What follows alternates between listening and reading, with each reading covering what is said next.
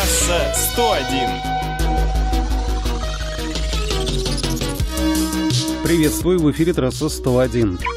Владимир Сметанин не нарушает. Почти.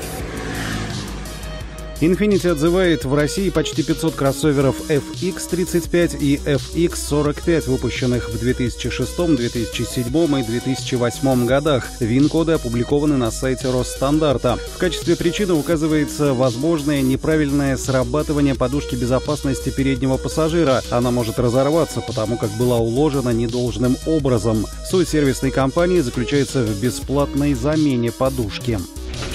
Трасса 101. Новости об ОСАГО, по сути дела, сводятся к тому, что обязательная автостраховка подорожает. Вот и на этот раз нам обещают резкий скачок цен от 30 до 50%. Чем это обусловлено? Тем, что в рамках очередной реформы автогражданки планируется увеличить лимит выплат по жизни и здоровью в 4 раза до 2 миллионов рублей, плюс отказ от двух коэффициентов мощность и регион. Эх, была когда-то светлая мысль дать автомобилисту право выбора, какую страховку он хочет, обычную или с повышенным лимитом выплат. Зачем же навязывать последний вариант?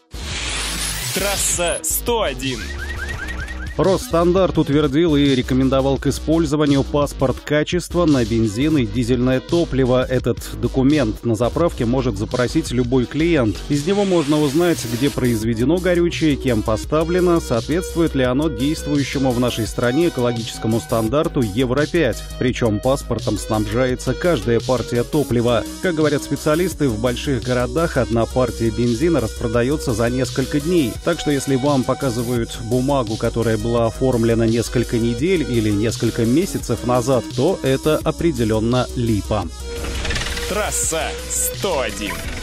Цены на бюджетные легковушки за последние 10 лет выросли в среднем в два раза. А что в них изменилось за это время? Да по большому счету ничего. Рекордсменом по росту цен, информирует агентство «Автостат», стала отечественная «Лада Гранта». В 2012 году она стоила минимум 230 тысяч рублей. Сейчас минимум 520 тысяч. Рост почти на 130%.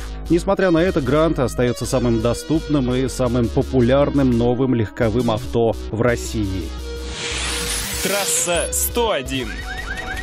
А в Елабуге началось серийное производство отечественных легковых авто премиум-класса «Аурус». Как сообщалось ранее, цены на эти машины стартуют с отметки в 18 миллионов рублей. Один экземпляр, седан «Аурус Сенат», оснастили силовой установкой, работающей на водороде. Подробной информации, в том числе технической, об этой люксовой колеснице нет.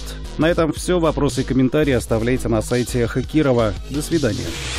Трасса 101.